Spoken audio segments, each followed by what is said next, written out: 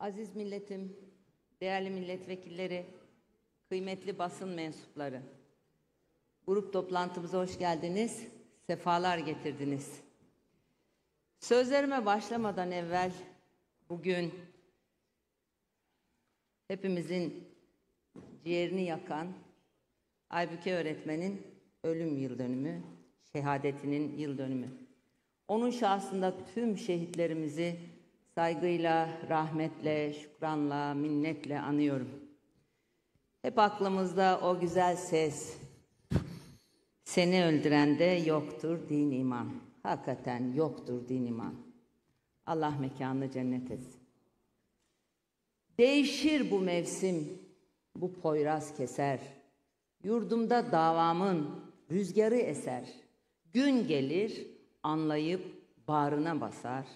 Şehir bu sevdayı, köy bu sevdayı. Yeminim var oğlum kızım üstüne. Yazdım nakış nakış özüm üstüne.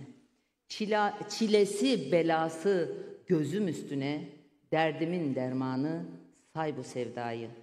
Geçtiğimiz pazartesi günü Abdurrahim Karakoç abimizin vefatının 9. yıl dönümüydü. Davasını sevda sayarak hepimize örnek olan gönül dünyamızın büyük ozanını saygı ve rahmetle anıyorum. Ruhu şad, mekanı cennet olsun.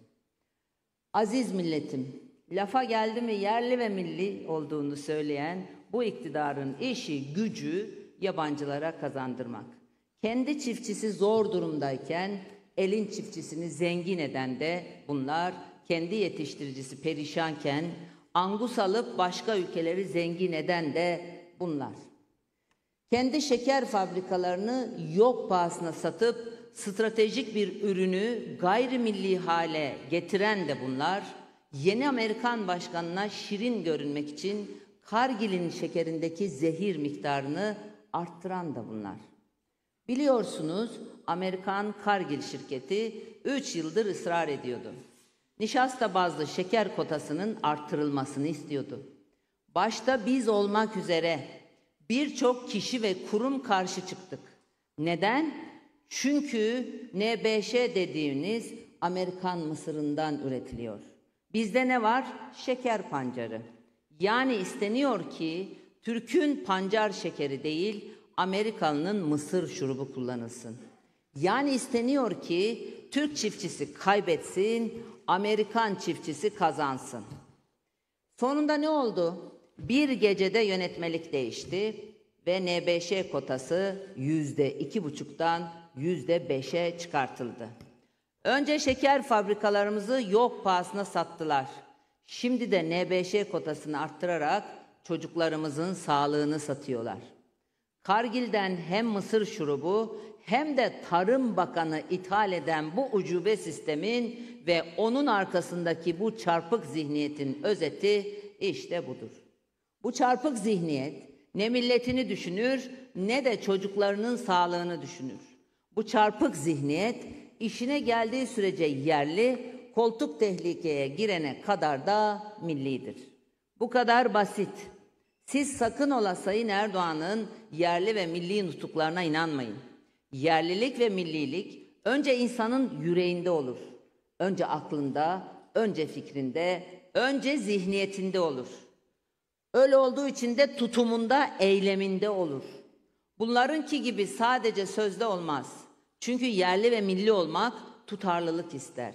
Her durumda önce millet, önce memleket diyebilmek ister. Şahsını milletinin önüne koyanlardan yerli de olmaz, milli de olmaz. Nitekim sözüm ona ultra milli olan bu arkadaşlar son olarak bir başka utanmazlığa daha imza attılar. Çin'in Uygur kardeşlerimize uyguladığı soykırım karşısında sergiledikleri utanç verici pısırıklıkları yetmemiş gibi şimdi de Dünya Uygur Kongresi Başkanı Dolkun İsa'nın ikinci vatanım dediği Türkiye'ye girişine izin vermediler. İşte size Sayın Erdoğan ve ortaklarının dillere destan yerliliği ve milliliği. İşte size yoluna baş koyduğu ihvan kadar yerli Sayın Erdoğan ile tehditçi Çin elçisi kadar milli ortakları. Yazıklar olsun. Aziz milletim ama artık bu zihniyeti tanıyoruz. Bu vicdansızlığı, bu utanmazlığı biliyoruz. Dün millet iradesini arkasına alanların bugün o yüce iradeye nasıl sırtlarını döndüğünü ibretle görüyoruz. Milletin güvenini suistimal eden bu iktidarın Türkiye'ye verecek bir şeyi kalmadı. Koltukları için ilkelerinden cayanların milletimize verecek bir şeyi kalmadı. Geçtiğimiz hafta Karabük'teydim. Pazartesi günü de Niğde'ye gittim. İktidarın beceriksizlikleri sonunda Karabüklü, Niğdeli esnafımızın, çiftçimizin durumu perişan. Benimle beraber orada olan arkadaşlarım bizzatihi şahit oldular. Karabük merkezde genç bir kardeşimin oyun kafesi varmış. Diyor ki benim 16 aydan beri dükkanım kapalı. 2018'de 300-400 bin lira bir yatırım yaptım. Şu anda bitmiş durumdayım.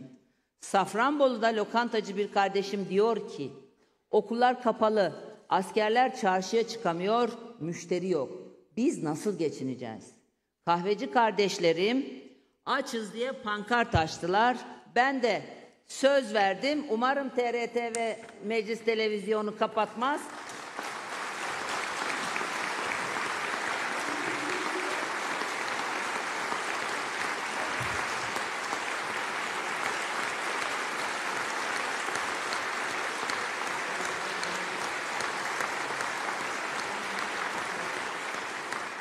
Ben de söz verdim.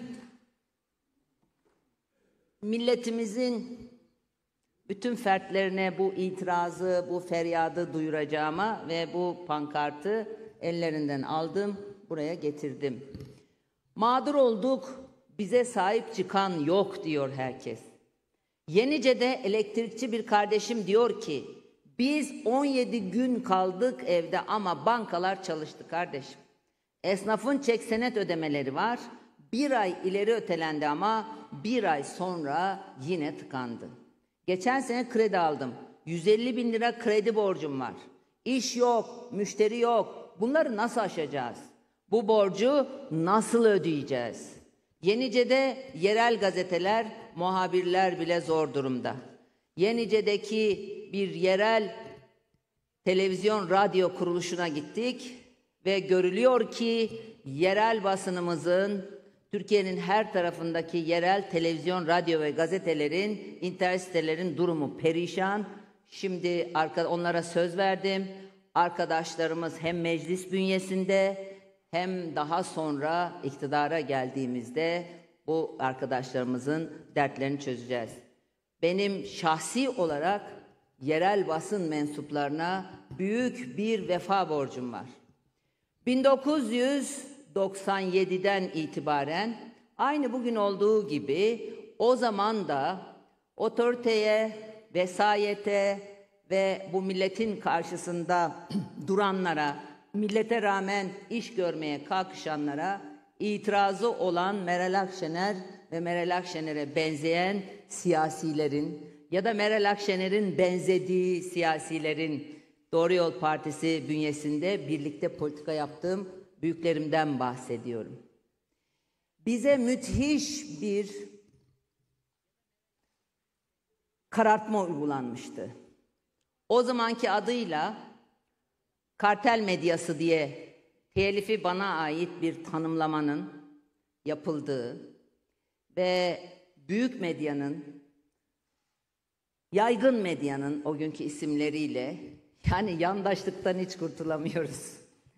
Yaygın medyanın derin bir karartmasıyla karşı karşıya kalmıştık. Ne yapmıştık biliyor musunuz? En azından ben kişisel olarak ne yapmıştım?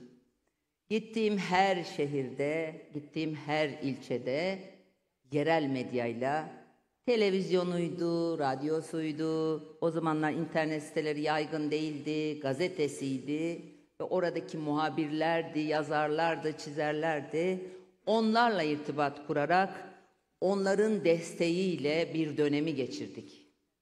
Dolayısıyla hem kişisel olarak hem de bilgi olarak bu arkadaşlarımıza derin bir vefa borcum vardır ve bugünden itibaren her türlü dertleriyle ilgilenmeye devam edeceğimizi ama bu iktidarın yandaşlık ölçüsü dışında medyaya bakışında herhangi bir normallik olmadığı için biat eden, bende olan basın istediği için dertlerine çare olunacağını sanmıyorum. Ama milletimiz yetkiyi bize verdiğinde Cenab-ı Hak bize bu görevi nasip ettiğinde elbette çiftçimizde, esnafımızda, işsiz gencimizde, ekonomide olduğu gibi yerel basının da Türkiye genelinde dertlerini çözmek inşallah bize nasip olacak. Buradan bu sözü herkesin huzurunda vermek istiyorum.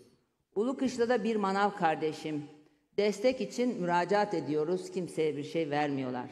Bırakın desteği, başvurumuz bile onaylanmıyor. Her şey ucu ucuna denk geliyor. Bir kasabın yolunu, biz kasabın yolunu unuttuk diyorlar.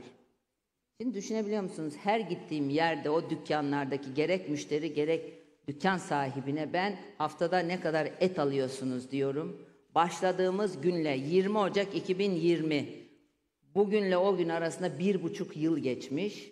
O günle bugün arasında verilen cevaplar o kadar farklılaşmış ki haftada bir gün et alır, alıyorum diyenden ayda bire et ayda bir et alabiliyorum diyene haftada bir bir kilo kırmızı et, kıyma vesaire gibi bir şey alıyorum diyenden haftada bir tavuk kanadı pardon tavuk parça tavuk ya da tavuğun sakatatını alıyorum diyene. Ayda bir ete döndük ama onu da tavuk olarak alıyorum diyene ve yani et satın alma konusunda ilçelerimizde esnafın, ahalinin alamadığını ve durumunun perişan olduğunu bu bir buçuk yıllık süreçte gözlerimizle gördük, kulaklarımızla duyduk. Aynı şey devam ediyor ve artarak devam ediyor, derinleşerek devam ediyor. Ama sarayda oturanlar, sumuti içenler elbette bunu anlamaları mümkün olmaz. Bizim onlardan bunu anlamalarını beklememiz de hakikaten abesle iştigal. Burada bir emeklimiz ben yüksek maaştan yani yüksek maaş bana bağlanacak diye emekli oldum diyor. Çok yüksek sayıda çok fazla gün sayısı ödemiş. 7 bin küsür gün sayısı 8 bine yakın gün sayısı ödemiş. En yüksek orandan ödemiş. Ama diyor bir şirkette ortağım ben diyor. Bana bağlanan para diyor normalde 2400 lira olacaktı. 1700 lira emekli maaşı bağlandı diyor. Yahu bir ülkede bir buçuk, 1500 lira, 1600 lira, 1800 lira, 2100 lira, 2400 liralık SSK ve Bağkur emekliliği farkı olabilir mi arkadaşlar? Bu nasıl bir abukluktur? Bu nasıl bir vicdansızlıktır? 1500 lira, 1600 lira emekli maaşı alan bir insan neyle geçinir kardeşim? Evi kendinin olsa bile geçinemez, aç kalır. Nitekim öyle. Bir de işsiz çocuklarının, işsiz torunlarının bu evlerde ikamet ettiğini, bu evlere geri geldiğini düşündüğünüz zaman o yaşlıların halini hiç mi bu iktidarda beş maaş, on maaş, altı maaş, en son bugün sabah dakika bir gol bir varlık fonu başkanının da koca koca iki maaş aldığını basında gördüm. Hiç mi vicdanları sızlamaz ya? Bir taraf aç, bir taraf beş maaş. Böyle bir şey olabilir mi? Ama oluyor demek. Şirketi feshedersen ben nasıl geçineceğim diyor arkadaş. Oto sanayine çağırdılar. 84 yaşındaki Naci abimiz anlattı. Dedi ki, kardeşim gündeme getir, takip etsin milletvekili arkadaşlarınız. Biz çok zordayız. Niye abi? Başka insanlar da var yanında. Dükkanlarını oradan çıkarıp bir başka yere götürme kararı almış belediye. Diyor ki bizim dükkanlarımızın bulunduğu yer artık kupon arazi, kupon arsa. Şimdi bize verilen yani değiştiriyorsunuz dükkanınızı ama bize verilen bir e, rakam var 300 bin lira civarında bunu böyle sayıyorlar diyor. çok daha e, yeri kıymetli. Biz şeye gidiyoruz diyor. Diyelim ki gittik o dükkanların, e, yeni dükkanların oraya diyor. Daha na tamam diyor. İçini kendimiz yaptırmamız lazım diyor. Buralarda kendimiz yaptırmıştık diyor. Ve ayrıyeten de 100 bin lira para ödememiz lazım diyor. Ya böyle bir vicdansızlık olabilir mi? Şimdi bu ne biliyor musunuz? Bu kupon arazi, yani vatan toprağını kupon arazi gören zihniyetin otosanayisinde evini geçindirmeye çalışan insanların ne yapacağına hiç bakmadan oradaki o kupon araziyi değerlendirme mantığıdır. Böyle bir yönetim anlayışı, böyle bir zihniyet olamaz. Burayı bırakıp dağın başına taşınmamızı, üzerine de 100 bin lira para yatırmamızı istiyorlar dedi abi. Sayın Erdoğan, sen kafanı kuma gömmekte ısrar etsen de bu dertlerin hepsi gerçek. Notlarımızı alıyoruz, çözümleri için çalışıyoruz. Allah'ın izniyle ilk sandıkta seni gönderip hepsiyle biz ilgileneceğiz, biz.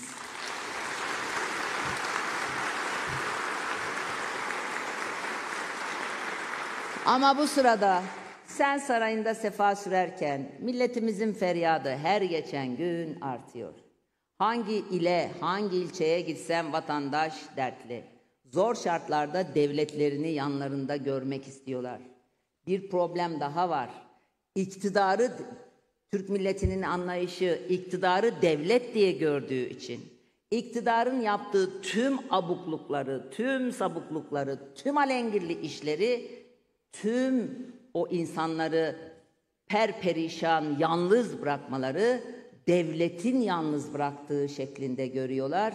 Aynı anda devlet dediğimiz o kavram, o anlayış, insanların zihnindeki o tasavvur da yerle bir oluyor ama bunların seslerini duyan yok. Bu insanları daha ne kadar duymamazlıktan geleceksin Sayın Erdoğan? Daha kaç iş yerinin kepek, kepenk kapatmasını bekleyeceksin? Milletimizin çilesine daha ne kadar seyirci kalacaksın? Böyle bir yönetim anlayışı olabilir mi? Böyle bir umursamazlık olabilir mi? Böyle bir vicdansızlık olabilir mi? Yazıktır, günahtır. Değerli dava arkadaşlarım, elimizi nereye atsak kötü kokular yükseliyor. Gözümüzü nereye çevirsek bir dümen almış başını gidiyor. İşte size bir örnek. İstanbul Büyükşehir Belediyesi'nde geçmiş dönemde yaşanan AK Parti için küçük, milletimiz için ise oldukça büyük bir yolsuzluktan bahsetmek istiyorum. Vatan Caddesi'nde belediyeye ait olan bir yeşil alan bir firmaya 25 milyon liraya satılıyor. Ardından bir düzenleme ile bu arsa yeşil alan olmaktan çıkarılıp imara açılıyor. Böylece fiyatı katlanıyor. Sonra ne oluyor? Bir süre sonra aynı arsayı aynı Büyükşehir Belediyesi bu kez 430 milyon liraya geri alıyor.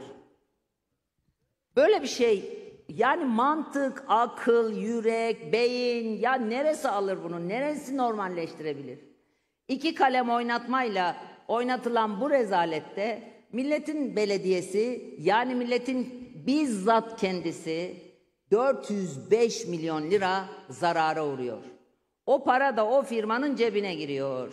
Bitiyor mu? Hayır bitmiyor. Aynı arsa yeni bir kararla yeniden yeşil alan oluyor. Ve bugünkü piyasa değerine göre fiyatı 90 milyon lira oluyor. Şu yüzsüzlüğe bakar mısınız? Şu soyguna bakar mısınız? Milletin hazinesine çökmüş şu arsızlığa bakar mısınız? Durum ortaya çıkınca Millet İttifakı'nın Büyükşehir Belediyesi hemen suç duyurusunda bulundu. Şimdi söz yargının. Milletin hakkını, hukukunu savunacak, bu yolsuzluğun hesabını soracak onurlu savcı ve hakimleri göreve çağırıyoruz. Süreci yakından takip edeceğiz. Milletimizin helal parasının bu haram düzeninin yandaşlarının cebine inmesine izin vermeyeceğiz. Aziz milletim, AK Parti iktidarı Türkiye'yi her alanda beladan belaya savururken biliyorsunuz Marmara Denizi de bir felaketle boğuşuyor. Müsilaj adı verilen deniz salyası Marmara'daki deniz yaşamını ve kıyılarımızı tehdit ediyor. Bir şeyin altını özellikle çizmek istiyorum. Bu bela yeni değil. İlk olarak 2007 yılında ortaya çıktı. Bugünküne göre çok daha küçük boyuttaki o felaket ancak iki yılda temizlenebildi. Peki sonra ne oldu? 2020 yılının Kasım ayında yeniden ortaya çıktığında bilim dünyası başta bakanlık olmak üzere ilgili birimleri uyardı. Önlem alın dedi. Peki ne oldu? Çevre ve Şehircilik Bakanlığı ne yaptı? Mayıs'ın ortalarına kadar bu salgının sıradan bir plankton artışı olduğunu, numune almaya bile gerek olmadığını söyledi.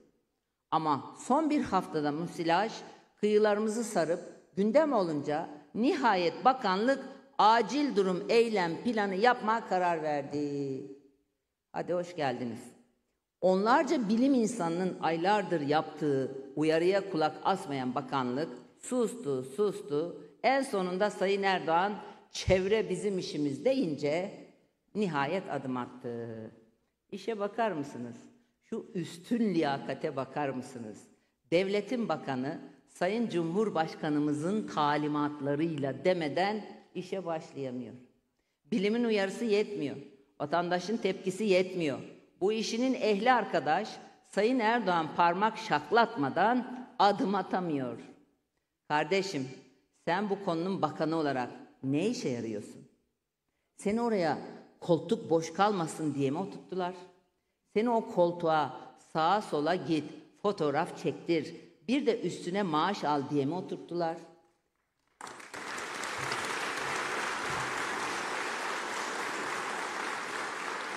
Senin işin bu değil mi? Sekiz ay önce bambaşka açıklamalarla sorunu görmek, görmezden geldiniz bakanlık olarak. Bugün sırf Sayın Erdoğan parmağını şıklattı diye acil eylem planı hazırlamak yarışına girdiniz. Bir de hala utanmadan işinizi yaptığınızı iddia ediyorsunuz. Böyle ciddiyetsizlik olur mu? Böyle basiretsizlik olur mu? Böyle bir devlet yönetimi olur mu? Ayıptır, günahtır. Söylüyoruz bunları da en azından milletimizin milletimizin yüreğine, milletimizin hafızasına not düşüyoruz. Değerli milletvekilleri, yapılan araştırmalara göre Karadeniz'e ve Marmara'ya dökülen atıkları yüzde 40 oranında azaltırsak müsilaj sorunundan ancak 6 yılda kurtulabileceğiz. İktidar farkında olmasa da müsilaj belası işte bu kadar ciddi bir sorundur. Ve her ciddi sorun gibi bilimle, akılla ve ciddiyetle çözülmesi gerekir. Böyle sorunlar bir kişinin talimatı verdim dediği sığ ve indirgemeci bir anlayışla çözülemez. Biz sorumlu muhalefet anlayışımız gereği işaret ettiğimiz sorunlara dair çözüm önerilerimizi de paylaşıyoruz. Türkiye'nin meselelerini kimin çözdüğünü değil, meselelerin çözülüp çözülmediğini önemsiyoruz. Müsilaj meselesini iktidarın beceriksiz kadrolarına bırakamazdık. O nedenle Marmara Denizi'ni kurutma ihtimali olan bu belaya karşı ne yapılması gerektiğine dair de çalıştık. Öncelikle bu sorunun yalnızca yerel yönetimlerin yükü olmadığının bilinmesi gerekiyor. Bakanlık zor zahmet de olsa büyükşehir belediyelerimizi de dahil ettiği bir süreç başlattı. Bu adımı olumlu buluyoruz. Bunun devamında atılacak adımlar için de iktidara buradan çağrıda bulunmak istiyorum. Marmara Denizi'ne dökülen atık suların bir kısmı değil, tamamının ileri biyolojik arıtmadan geçmesi gerekiyor. Bunun için merkezi yönetim olarak hızlı bir şekilde yerel yönetimleri destekleyin. Mevcut arıtma tesislerini bir an önce ileri biyolojik arıtma tesislerine çevirin. Gerekirse kamulaştırmaya gidin. Vakit kaybetmeden iyi tarım uygulamalarına geçin. Gübre, kimyasal ve ilaç kullanımının azaltılmasını sağlayın. Şehir şebekelerinde yalnızca ön arıtma yapılan suyun park ve bahçe sulamalarında kullanılarak denize dökülmesini kısıtlayın. Denizlerimizdeki dip hayatına zarar veren troll tipi avcılığa karşı yaptırımları arttırın. Marmara Denizi'ne atık su döken ve nüfusu 5000'den fazla olan yerleşimlerde hızla ileri biyolojik arıtma tesisleri kurun. Karadeniz'deki kirliliğin daha fazla artmaması, Marmara Denizi'ndeki müsilajın Ege'yi daha fazla etkilememesi için Marmara, Karadeniz ve Ege ile etkileşim bulunan ülkelerle Türkiye'nin liderliğini üstlendiği ortak bir platform kurulmasını sağlayın. Deniz salyası yalnızca ekolojiyi değil, ekonomiyi de ciddi şekilde etkileyen bir sorundur. Bu nedenle turizm, balıkçılık, deniz ürünleri üretimi gibi birçok farklı sektör olan etkilerini bir an önce belirleyin. Bu sektörlere dair gerekli önlemleri süratle alın. Aziz milletim, Sayın Erdoğan'ın daha önce ekonomi bizim işimiz dediğinde başımıza gelenler ortada. Yani bir konuda bu benim işim dediği anda ben titremeye başlıyorum. Tansiyonum düşüyor. Şimdi de çıktı. Çevre bizim işimiz dedi.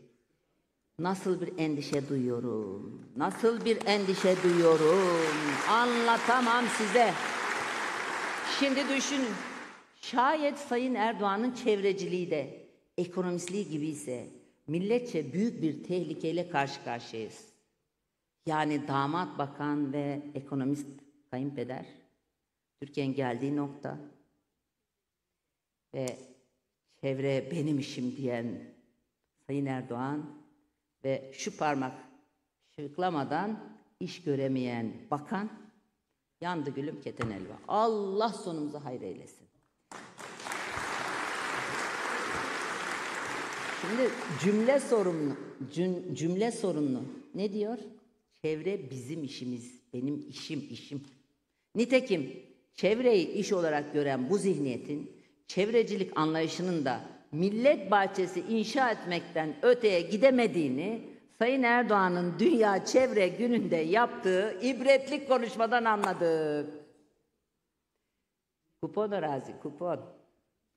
Bizim için bizim için vatanın doğası kutsaldır. Birileri için kupon arazi. Dolayısıyla doğamızı korumak ve kollamak bizim için kutsal bir görevdir. Doğamız topyekün alarm verirken bu uyarıyı duymamazlıktan gelemeyiz. Salda gölüne beton dökenlerin kendilerini yol kenarına ağaç diktik ya diye savunmalarını kabul edemeyiz. Kaz dağlarını yağmalatanların bizi millet bahçeleriyle uyutmaya çalışmalarına sessiz kalamayız. Çevre bizim işimiz diyen büyük Rizeli iflah olmaz rant sevdalısı için Rize'deki doğa kıyımına göz yummasını görmezden gelemeyiz. Gelmeyeceğiz. Sessiz kalmayacağız. Kabul etmeyeceğiz. Memleketin cennet doğası için mücadeleye devam edeceğiz.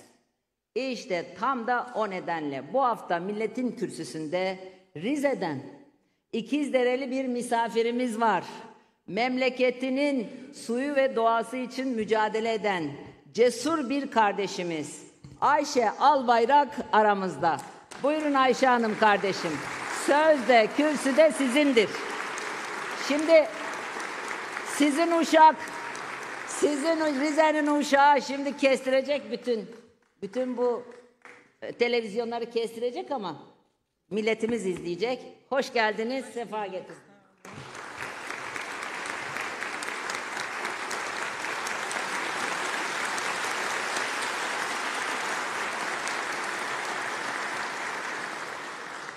Özellikle hepinize hayırlı günler. Hayırlı diyeyim, hayırlı olsun inşallah. Ben Rize İkizdere'den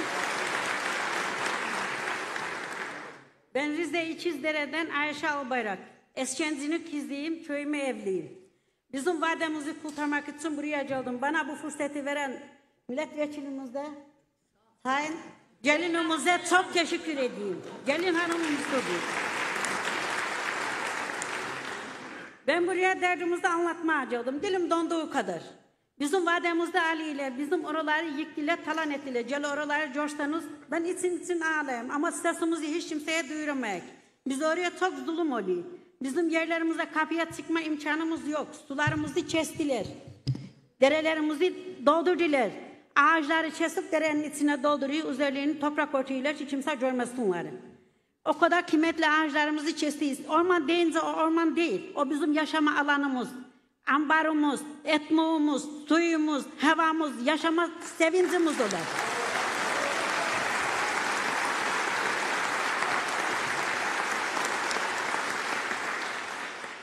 Onlara taş değil, taş değildir. O taşların hepsinin kalbi var, zani var. O ağaçların zani var. Bizim derelerimizin balıklarını yok ettiler. Bütün arazimizde kapımıza çıkmaya bile bize müsaade vermiyorlar. Çayımı çestim götürdüm evin kapısına gelinim götürdü isterdi. Kamyoncu oldu adam çayların içine çekti. Boyuk o işçi kistacının kamyonlarından nedir adı Cengiz mi nedir unutayım adını. Hadi batsın inşallah. Buraya bir geldi uç, üç tane adam geldi. Bizim cenazemiz vardı. Halamız vefat etti. Cenazeye gitmiş idi. Üç kişi geldi. Tarlaları gezdiler. Gencem bir gencem var 80 yaşına. Onu eve bırakmıştık. Encelliydi, celemiydi. Çıktı dedi buraya ne arıyorsunuz? Dedi biz buraya geldik dedi bakayım. Dedi acil kamu, kalım, kamulaştırma nedir olacak? Buraya dedi, devlet kamulaştıracak. E bu savaş mı var da buraya kamulaştıracaksın? Bu bizim mal, malımız, tapulu malımız. Savaş mı çıktı da biz duymadık onu? Ze bir, bir tek Cengiz Han'ı gitsin. Bu insanları mağdur ediyorsun. Oradaki insanlar nerede yaşayacak? Bizim ne sarayımız var, ne çoşkumuz var, ne dairemiz var, ne binamız var. Hiçbir yere bir şeyimiz yok. Sadece o Eskenzi deresine bilama yerimiz var. Bir de o evlerimiz var. Oturuyoruz oraya yaşayık. Zaten devlet bizden almış. Bizim 60 dönüm arazimizi almış orada. Şimdi kala kala oraya yani kaldığı hep bizde yani 5-6 dönüm var yok. İlla onu da alacaksın. Yani o kadar yerlerden doymadığınızda Eskenzi'den mi doyacaksınız? Eskenzi toprağından doyacaksınız.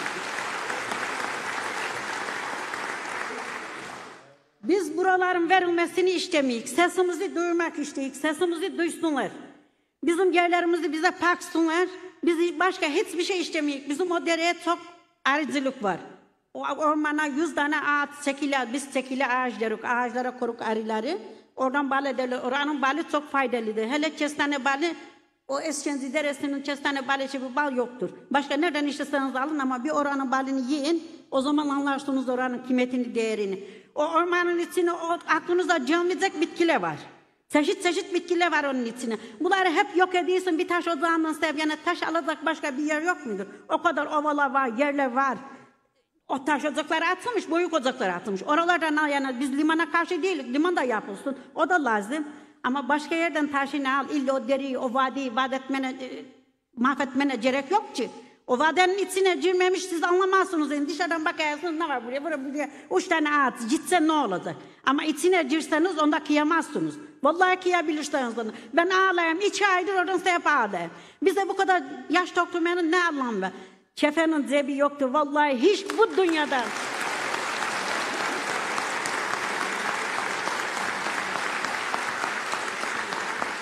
Bu dünyadan hiç kimse bir kuruş al gitmeyecek. O da yedi yaşın kefen alacak, ben de oynalacağım. Yani bu kadar milleti ağlatıp da sen oradan para kazanasın, birileri zencin olsun, o halk oraya ağlasın. O insanlar nereye gidecekler? Bizim yaşama alanımız orası. Bize yerimizi paksınlar, bizim yerimizi dağıtmasınlar. Biz devletten bir tek bunu isteyik. Biz hiçbir defa devletin arkası, orijini olmadık, hep arkasını olduk. Biz jandarmamıza da saygılıyık, polisimize de, devletimizde de, ama bize bu kadar işkence etmesin. Akşama kadar jandarmacı oldu Celin'im saçesi akşama kadar oturmuş onun dibine bekleyin. Ya kadının belki bir derdi olacak sen niye oturup bekliyorsun oraya? Kendi arazide miyim niye bekliyorsun beni?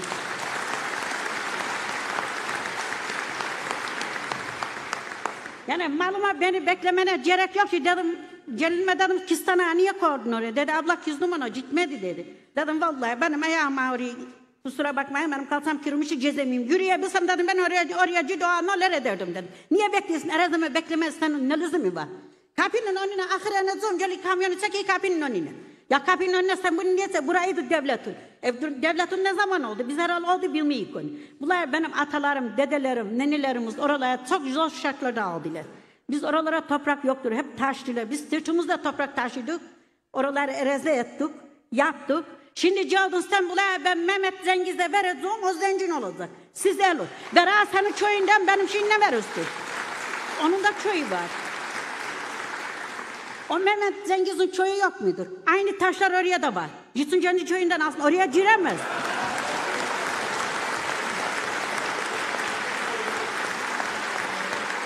Mehmet Mehmet Cengiz Karadereli'nin cüce o kalkan derenin kendi köyünden bir taş alabilirse ben de adam değilim. İnsan değilim o zaman. Vallahi alabilirse. Tutamaz onda çünkü kalkan dereliyle biz içi bu diyecek. Biz biraz iyi niyetliyiz. Bizim iyi niyetimizden yararlanıyor. Yani biz o kadar kötülüğe giden bir insan değiliz. Bizim o iyi niyetimizden yararlanıyorlar. Şimdi oraya o dereye gelseniz bir iki aydır biz ne yemek yedik, ne bir doğru dürüst oturabildik, ne bir doğru çamaşır yıkayabildik, dereyi dolduruyla toprak. Zaten toprak yok oraya taş dili. En iyilerinde dere bulani. O dereye o kadar güzel alabalıklar vardı. Biz o derenin balıklarını tutmaya kormazdık. Kimse yasak etmiştik onu. Kardeşlerim oraya beklerdi. Kimse o dereye balıkçıyı tutmazsın. Oranın balıklarını yok ettiler.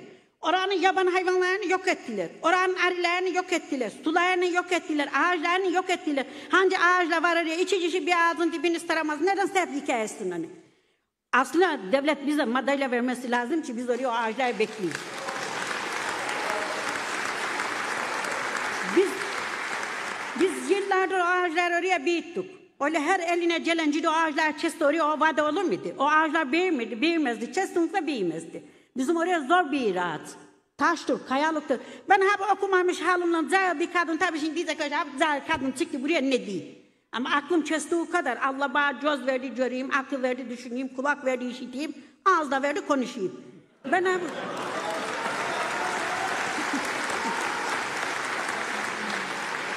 Ya ben o kadar düşüneyim de bunu sen nasıl düşünemezsin? Bizim oraların dik yamaçtır oraların arazileri. Kayanın dibi buraya da tepesi tek dağa çıkar. Benim sitelerim vardı. Bizim Mezde derik. Mezre'ye çıkmıştım. Şey atılıydı tünel. Tünele bir deremit patlama oldu. Yani iki, iki saatlik yolaydım ben.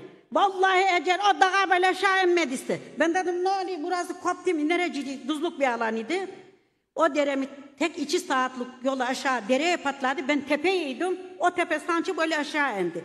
Bizim oraya bir deremit patlat dağlar oynar. Hep kayalık o kayanın tepeye çıke. Yeraltı kaynaklarımız hep kurudu. Sularımız hep kurudu. Su yoktu yani. Biz pağır deruklara.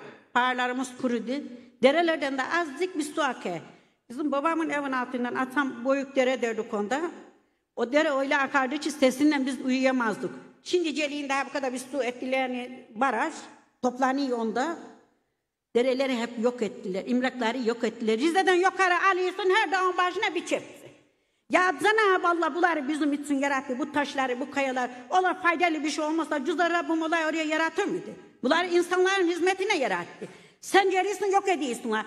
Biz bunları çözüdük. Ee, oradan sonra tikeceğiz. Senin onda cüzün var mı? Onu oraya yaratan bilmiyor muydu? Buraya hangi ağaç lazım, hangi taş lazım, hangi kaya lazım?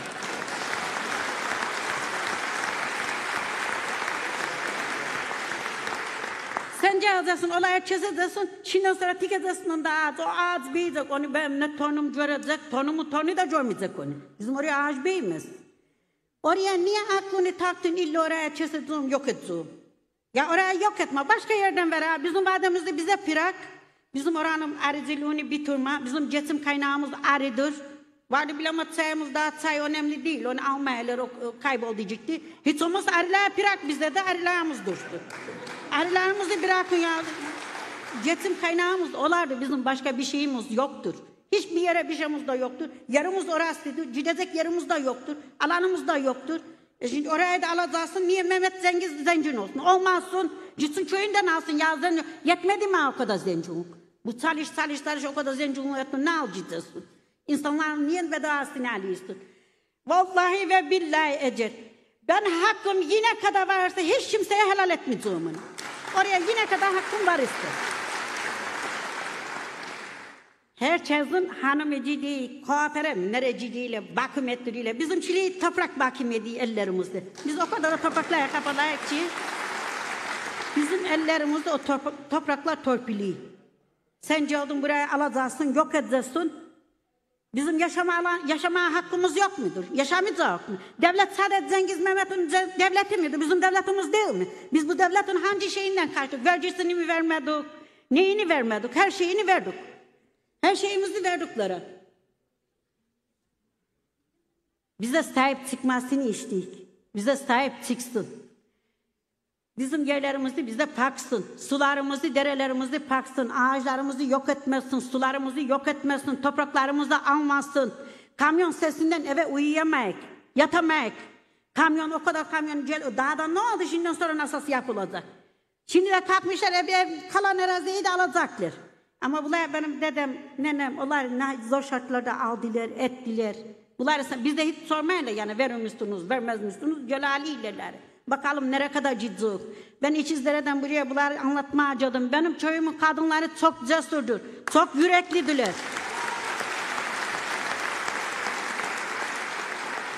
Ama onları beyleri biraz bastırdı, konuşmaya bırakmadılar. Ben bizim köyün kadınları oraya en sevdiği o da öyle bil ama yukarı gidemezdi. Vallahi adım atabilir üsteler. Ama bırakmadılar, susturdular. Nedenini de bilmeyeyim. Bize de nedenliğini anlatmadılar. Susturdular. Buradan ben köyümün kadınlarına sesleneyim. Bu zafer kadınların olsun. Enim de dozarın ucuna enim.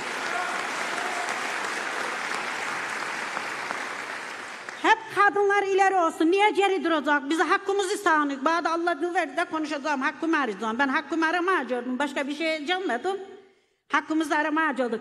Bizim küçük gelinimiz geldi ziyaret etti bizi. Büyük gelini de oraya bekleyip Emine Hanım'ı gelsin o da bir ziyaret etsin bizi.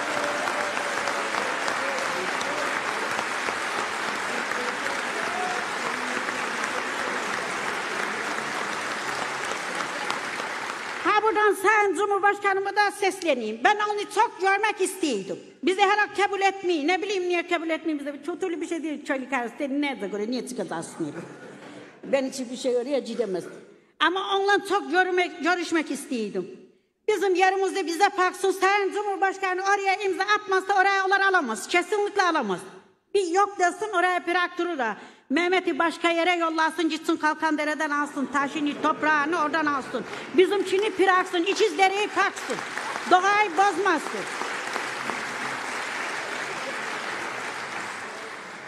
Bizim doğamızı bozmasın. Biz doğamızı isteyik. Bunu kimse bozmasın, talan etmesin. Ben Rize'den yukarı alayım, İçizdere'ye doğru çıkayım. Her dağın tepesine bir çepti. Ya buraya bu kadar, buralara bu kadar zulümü ne edersiniz? Güzel Rabbim buraları o kadar güzel yaratmış. Bu yeşillikleri siz böyle mahvediyorsunuz. Bu dersin ciddim ovitun dağlarına oralara var. Zaten bizim oranın resmini komadiler şey ne bir rapor hazırlamışlar.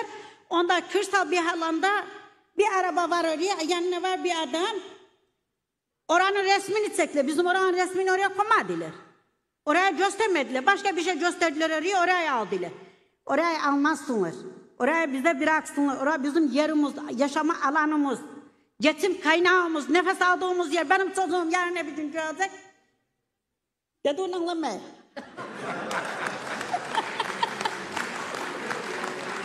Gel yanıma. Bir şey, bir şey, bir şey söyleyeyim ben anlayamadım.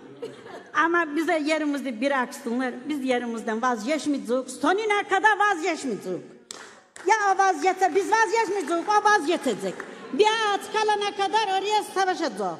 Bir ağaç kalana kadar. Sen Türkçeyi mi dediyorsun bak? Kız bırak beni dur daha sonra derim. Ama biz şimdi ha buraya geldim bana bunu bu fırsatı verdiğin için sana çok teşekkür ederim. Sesini duyduğum için. Sizden de Allah razı olsun. Beni dinlediğiniz için hepinize ayrı ayrı teşekkür ederim. Saygıyla, sevgiyle sizi selamlarım ama buradan da bir Türkçe diyeceğim. Oradan sonra ineceğim. Oradan sonra ineceğim. Türkçem diyorsun akma ben saat Türkçe demişim buraya da diyeceğim bir tane. Konuşma derler bana Şestanaydın sesini. Tarihlerden silerler Eskenci deresini. Kurutmazsınlar inen ormandaki gülümü. Ocun aydınlık olsun Sayın Meral Hanım. Çok teşekkür edeyim hepinize. Allah razı olsun sizden. Ay, hadi bakalım, hadi bakalım. Bak, bak, ayakta herkes. Hepsine teşekkür ederim. Allah razı olsun. Yine beklerim seni. Gelecek sağ ol.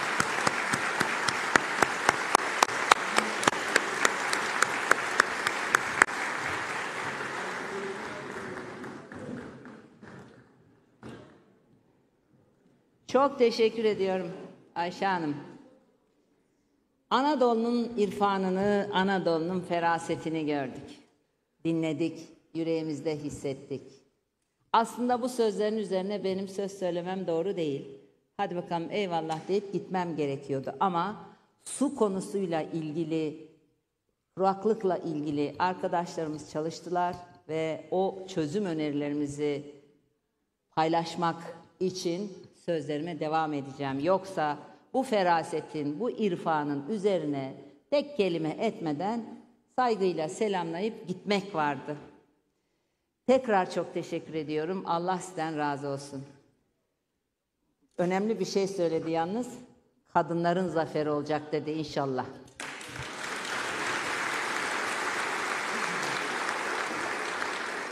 Biz Türkler için ağaç kutsaldır. Hatta çok sevdiğim bir arkadaşım Türk şaman inancında ağaç kültüne dair doktora tezi var. Yani dikkatle okuduğum bir tez. Dolayısıyla ağaç kültü, ağaç kutsallığı genetiğimize, kültür kodlarımıza ile, e, iliştirilmiş bir konu. Ama bugün ağacına, ormanına, denizine sahip çıkmayan bir iktidar var. Ağacına, denizine, suyuna, bitkisine sahip çıkmayan Türk'üm diye gezemez.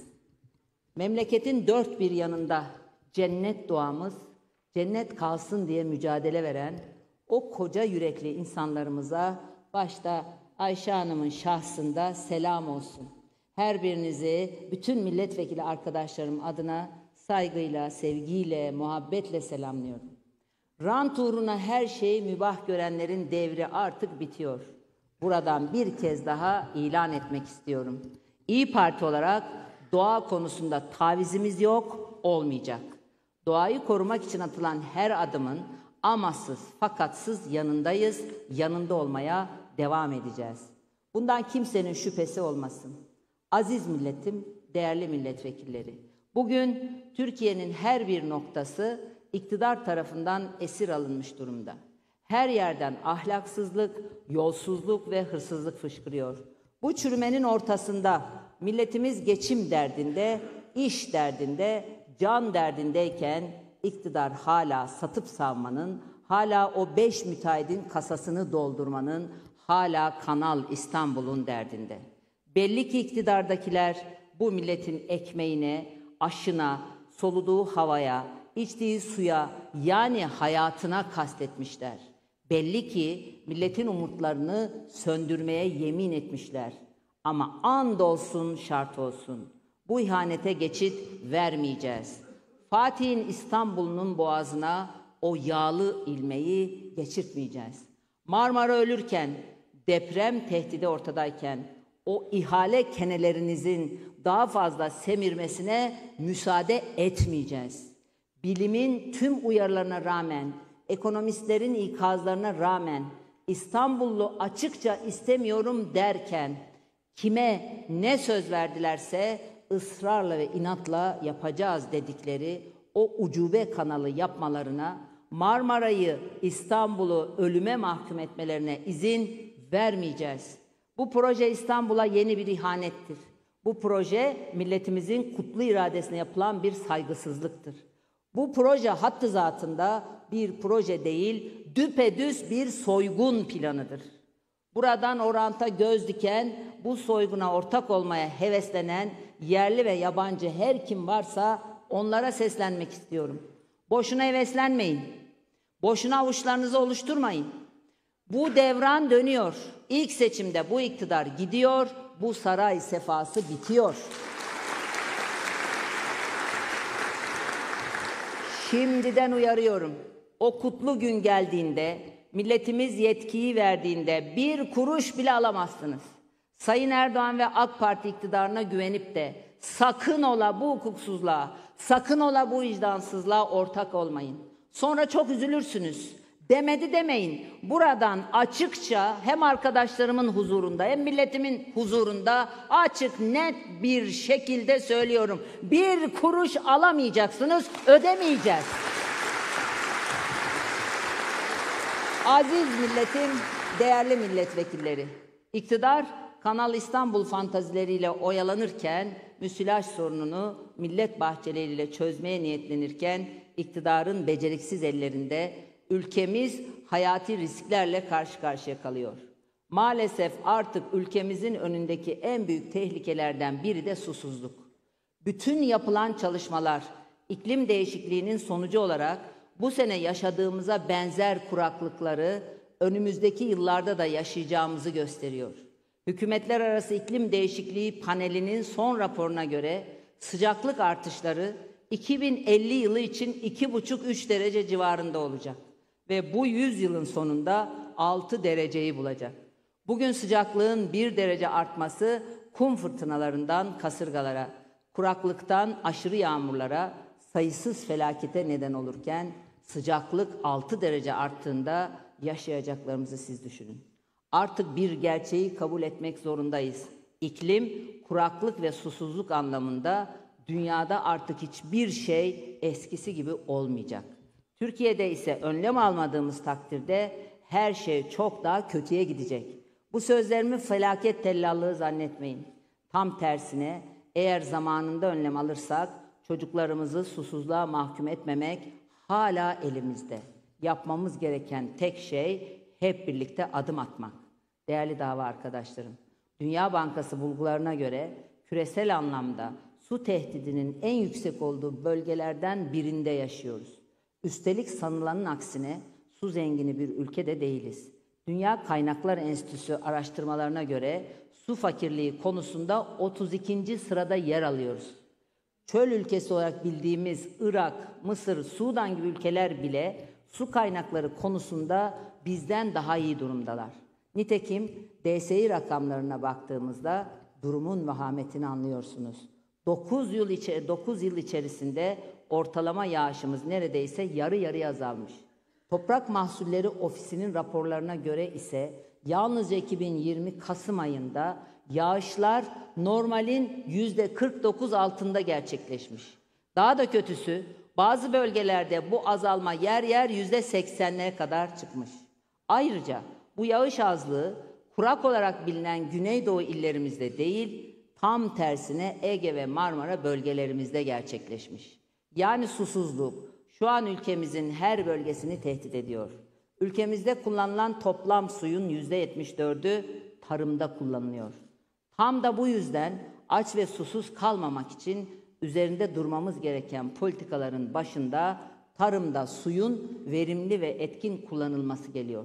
Boğaziçi Üniversitesi'nin yaptığı çalışmalar önlem alınmadığı takdirde 2050 yılına geldiğimizde ürünlerde yüzde 25 ila 50 arası verim kaybı yaşayacağımızı işaret ediyor. Verim kaybının ve makroekonomik kayıpların doğal bir sebebi olarak da tüm ürünlerin fiyatında ciddi artışlar olması bekleniyor. Yine Boğaziçi Üniversitesi'ne göre ürün bazında fiyat artışları önümüzdeki yıllarda yüzde 84'ü bulacak. Daha iklim krizinin başlarındayken bile gıda fiyatlarını kontrol edemeyen bu iktidar krizin etkileri daha ciddi hissedildiğinde ne yapacak? Orası belli değil. Belli değil diyorum çünkü bilim insanlarına, sivil toplum kuruluşlarına, hatta bizzat Doğa Ana'nın kendi diliyle yaptığı uyarılara rağmen betona aşık, suya düşman olan bu iktidar bütün bu gelişmeleri görmemezlikten geliyor. Aziz millet, bütün bu yaşananlar rantiyecilerin, maden meraklılarının ve doğa düşmanlarının umurunda bile değil. Fabrikalar torpilli, JES'ler torpilli, HES'ler torpilli, altıncılar torpilli. Yaylalarımız, dağlarımız, ormanlarımız, tarım alanlarımız, sularımız, denizlerimiz velhasıl ekosistemi koruyacak iklim değişikliğine direnecek ne kadar unsur varsa hepsi saldırı altında. İşte çok değerli kardeşimin bu kürsüden anlattıkları bir örnek. Artvin'den Aydın'a, Tunceli'den Sinop'a, Mersin'den Trakya'ya, Göller bölgesinden Çanakkale'ye, İkizdere'den Çanakçı'ya kadar cennet vatanımız acımasızca saldırı altında. Uzun göl yetmemiş gibi şimdi de Ayder'i yok etmenin peşine düşmüşler. Dünyanın en nadir doğal güzelliklerinden birine sahip balık yetiştiriciliği için bir derya olan Barhal Deresi'ne, Kamilet Vadisi'ne HES yapmanın peşine düşmüşler. Böyle insafsızlık olur mu? Böyle vicdansızlık olur mu? Yazıklar olsun. Sayın Erdoğan, buradan seni bir kez daha uyarıyorum. Kanal İstanbul'u bırak, Seyhan'ın, Ceyhan'ın, Sakarya'nın, Kızılırmak'ın suları ile Konya başta olmak üzere İç Anadolu'yu sulamayı düşün. Kanal İstanbul'u bırak, Fırat ve Dicle'nin suları ile Güneydoğu Anadolu'yu sulamayı düşün. Kanal İstanbul'u bırak, Çoruh'un, Aras'ın suları ile Doğu Anadolu ovalarını sulamayı düşün. Kanal İstanbul'u bırak, Meriç'in, Tunca'nın, Ergene'nin suları ile Trakya'yı sulamayı düşün. Kanal İstanbul'u bırak, Mendereslerin ve Gediz'in suları ile Ege ovalarını sulamayı düşün. Kanal İstanbul'u bırak, terk ettiğin gapa geri dönmeyi düşün. Kanal İstanbul'u bırak, milletini, memleketini, torunlarımızın geleceğini düşün. Bu işten her beceriksizliğini örtmek için yaptığın gibi hata yaptık, milletimiz affetsin, hakkını helal etsin diyerek sıyrılamazsın. Bak ne dedi? Milletin sesi buradan ne dedi? Bütün emeklerimin karşılığı olarak hakkımı helal etmiyorum dedi. Bunu duy Sayın Erdoğan. Hadi kandırdın, hepimize helal ettirdin diyelim. Doğu anadan nasıl af dileyeceksin? Çocuklarımızdan, bu vatanı bırakacağımız sonraki nesillerden nasıl af dileyeceksin? Olmaz Sayın Erdoğan. Doğa anaya ihanetin affı olmaz. Geleceğe ihanetin affı olmaz. Bu millet gün gelir o ağaçların, o suların, o ihanetin hesabını sana sandıkta sorar ve soracağını sen bilir misin, öğrendin mi bilmiyorum sarayda ne oluyor ne bitiyor. Saray dışına çıkmadığın için ama bu gözler biz arkadaşlarım o sandıkta o hesabın sorulacağını görüyoruz, biliyoruz ve inanıyoruz. Değerli dava arkadaşlarım, Türkiye hem doğasını kurtarmak hem de doğru ve planlı bir şekilde yeşil ekonomiye geçmek zorunda. Bu sadece doğamız için değil, fakirleştirilmiş ve sağlıksız gıdalara mahkum edilmiş milletimizi bu cendereden kurtarmak için de hayati öneme sahip.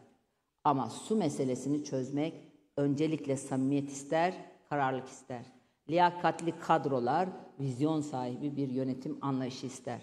Önce millet, önce memleket diyen bir iktidar ister. İşte bunu diyenlerin tamamı bu salonda. Bir bölümü bu salonda. Biliyorsunuz Devlet Su İşleri Genel Müdürlüğü diye bir kurumumuz var. Cumhuriyet tarihi boyunca dağa taşa adı yazılmış çok önemli bir kurumumuzdur. Daha geçen hafta Cumhurbaşkanlığı bir kararname yayınladı. Dedi ki DSİ'de işe alınacak topograf, laborant, hidrolog gibi teknik personel sınav yerine kura ile belirlenecek. Zihniyete bakar mısınız? Su gibi önemli bir konuda uzmanlık gerektiren personel KPSS ile değil kura ile işe alınacak. Yani teknik bilgisi değil şansı olan işe girecek. Biz su konusu çok önemli diyoruz. Bu iktidar ise uzmanlık gerektiren kadroların alımında bile kumar oynuyor. Aziz milletim, böyle devlet yönetilmez. Bu kafayla bu meselenin altında kalırız. Bu zihniyetle susuzluk sorunumuzu çözemeyiz. Bizim anlayışımıza göre toprak, su ve tarımsal üretim üçgeni bir bütündür. İnsanın gıdası tarım, tarımın gıdası sudur. Hepsi birbirine bağlı ve bağımlıdır. Bütüncül bir bakış açısı ile ele alınmalı, birlikte yönetilmeli, birlikte planlanmalıdır. İşte o nedenle İyi Parti olarak yetkiyi aldığımızda tam olarak bunu yapacağız. Bu üçgeni bütüncül bir anlayışla ele alacağız. Bir bütün olarak toprak ve su yönetimi kurumsallığı içinde kısa ve orta vadeli planlama yapacağız. İşte yapacaklarımız. Küçük su, büyük su yönetimi ayrımı yapmadan tarla içi yapılarla beraber tarımsal sulama ve toprak kullanımını birlikte planlayacağız. İlk 7 yıl içinde yarım kalan bütün küçük ve büyük su yatırımlarını tamamlayacağız. Yaklaşık üçte ikisi klasik ve kanalet sistem olan sulama yapılarının kapalı sistem dönüşümlerini başlatacağız. İlk 7 yıl için 2,5 milyon hektar sulanabilir arazinin suya kavuşması için projelerin yapım aşamalarını başlatacağız. GAP bölgesini özel olarak yeniden ele alıp bütüncül bir yönetim tarzı benimseyeceğiz. Büyük su projeleri tamamlanmış ama taş, ana taşıma kanalları ise devam eden veya yapılmış olan yatırımları tamamlayıp hızla tarla içi basınçlı sulama sistemlerini devreye sokacağız. Kuru tarım bölgelerinde üretim planlaması yapıp ülke içi master planlar doğrultusunda ürün ve üretim çeşitlerini yeniden planlayacağız. Göller bölgesinde ve özellikle kuru tarım bölgelerinde yeraltı akiferlerini koruyacak, aşırı tüketimi önleyecek tedbirler alacağız. Ülkemizde kullanılan toplam suyun %74'ünü oluşturan tarımsal su tüketimini kısa vadede %50'ye, orta vadede ise %25, 30'lar seviyesine çekeceğiz. Son 16 yılda kaybedilen 4.2 milyon hektar arazinin en az üçte ikisini ilk 7 yıl içinde yeniden tarıma kazandıracağız. Tarımdan kopardığımız her tarım arazisinin ve her metreküp suyun bize ithalat ve borç olarak geri döndüğünün bilinciyle birinci, ikinci ve üçüncü sınıf arazilerin tamamını, dör, dördüncü sınıf arazilerin ise özellikle dikili olanlarını ulusal gıda güvenliği kaynağı olarak kayıt altına alacağız. Bu arazilerin hiçbir biçim ve şekilde tarım dışı amaçlarla kullanılmasına izin vermeyeceğiz. Mesela Niğde'de bir çiftçi geldi. Devletten bir yer kiralamış. Bir tarım arazisi. Ekin ekmiş. Ekinlerini sökmüşler. Şimdi hep devlet deniliyor bu işlere. İktidar mensupları oraya yapı yapacaklarmış. Hani seni beğenmedik başka birine verdik diye diye tarıma yönelik de bir şey değil. Beton yapacaklarmış. Bina yapacaklarmış. Arkadaşın bütün o çiftçinin e, ekinlerini sökmüşler. Zaten Niğde'ye yağmur yağmamış, ekin tarlada kalmış görünüyor ve o kiraladığı yerden de o genç gençten bir arkadaşı çıkarıyormuş. Bana diyor ki devlet benim sesimi duymuyor. Sen bu sesi duyurur musun? Ya bu kadar çok karşılaşıyoruz ki, o kadar çok fazla karşılaşıyoruz ki böyle insanlarla. Benim içim acıyor da bu insanlar, bu bizi yönetenler nasıl duymuyor bunu? Bunu da anlayabilmiş değilim. Milli güvenlik unsurlarının tabi, olduğu istisnasız koruma sistemine dahil edeceğiz. Toplulaştırma çalışmaları sürerken gönüllü toplu tarım projesini derhal uygulamaya koyacağız. Bu projeyle arazilerini gönüllü olarak öngörülen üretim biçim ve modeline uygun biçimde kullanmaya başlayan çiftçilere özel çiftçi statüsü üzerinden her türlü destekleme ve ayrıcalığı sağlayacağız. Bu şekilde ilk etapta 3 milyon hektar araziyi proje kapsamına alıp üretimde en az %15 ile %25 arasında artış sağlayacağız. Bu iktidar döneminde su akıyor, onlar ise sadece bakıyor. Varsın onlar memleketimizin önemli meseleleri karşısında öyle baka dursunlar. İyilerin iktidarında su akacak, çiftçi harman yapacak. Su akacak, hayvan yetiştiricisi harman yapacak. Su akacak, tüccar harman yapacak. Su akacak, sanayici harman yapacak. Su akacak, Türk yapacak. Sulanabilecek bir karış vatan toprağı bile susuz bırakılmayacak. İçiniz rahat olsun.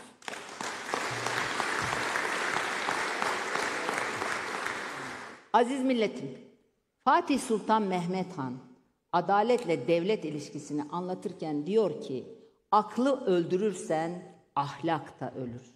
Akıl ve ahlak öldüğünde millet bölünür. Kadıyı satın aldığın gün adalet ölür. Adaleti öldürdüğün gün devlet de ölür. Yüzlerce yıl önce yapılan bu tarifteki hikmeti bugün ibretle anlıyoruz. Devlet idaresindeki akıl susmuş, ahlak kalmamış, adalet can çekişiyor ve koskoca Türk devleti partili cumhurbaşkanlığı denen bu ucube sistemin pençesinde ayakta kalmaya çalışıyor. Her zaman söylediğim gibi Türkiye'nin öncelikli sorunu partili cumhurbaşkanlığı sistemidir. İktidarın çarpık zihniyetinin başımıza bela ettiği ve bugün doğamızdan mutfağımıza, işimizden sağlığımıza, her alanda dertlerimizin artmasına neden olan bu ucube sistemin ta kendisidir. Çünkü yapısı itibariyle, işleyişi itibariyle akıldan yoksundur. Biz akıldan, bilimden, liyakatten yanayız. O yüzden tek adam değil, ortak akıl diyoruz. O yüzden ben ne dersem o olur değil, Türkiye milletin evinde milletimizle birlikte yönetilir diyoruz. O yüzden Milletin kürsüsünde sözü milletimize bırakıyoruz. İl il, ilçe ilçe emekçilerimize, çiftçilerimize, esnaflarımıza kulak veriyoruz. Kadınların, gençlerimizin, işsizlerimizin dertlerini dinliyoruz. İşte bu ortak aklın adına da iyileştirilmiş ve güçlendirilmiş parlamenter sistem diyoruz. Türkiye potansiyeli olan bir ülke. Türkiye güçlü, zengin ve mutlu olmak için ihtiyacı olan her şeye sahip bir ülke. Ancak bu potansiyeli bu ucube sistemle harekete geçiremeyiz. O nedenle ilk sandıkta memleketin enerjisini çarçur edip insanlarımızın umudunu öldüren bu beceriksizliğe, bu umursamaz, umursamazlığa dur diyeceğiz. Türkiye'nin potansiyelini milletimize zenginlik olarak döndüreceğiz. O zenginliği eşe dosta değil, doymak bilmeyen o beş müteahhite değil, aklın ve hakkın işaret ettiği şekilde her bir vatandaşımıza yaşatacağız. Değerli dava arkadaşlarım, vakit yaklaşıyor. Milletimizin desteğiyle İyi Parti her geçen gün büyüyor. Millet iradesinin o kutlu rüzgarıyla İyi Parti geliyor. Gittiğimiz her yerde aynı sesi duyuyoruz. Millet bizi çağırıyor. Kimse merak etmesin. Bu zor günler geçecek. Türkiye'nin çözülemeyecek derdi yok. Biz hazırız. Vizyonumuzla, projelerimizle geliyoruz. Liyakatli kadrolarımızla milletimizin hak ettiği o güçlü, zengin ve mutlu Türkiye'yi milletimizle el ele inşa etmeye geliyoruz. İyi Parti iktidarı yaklaştıkça iktidardakilerin kimyaları bozuluyor. Yolun sonu göründükçe yalanların, iftiraların dozu artıyor. Güneş ufukta yükseldikçe korku bacayı sarıyor. Ama nafile o sandık er ya da geç gelecek. O sandık gelecek ve milletimizin herkes ferasetini görecek. Biz Mevlam neyler neylerse güzel eyler diyenleriz.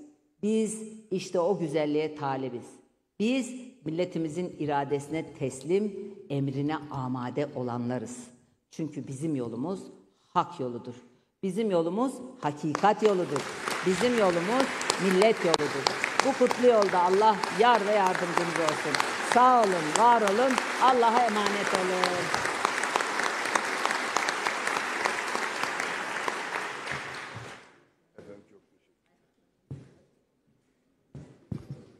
Toplantıyı kapatıyorum.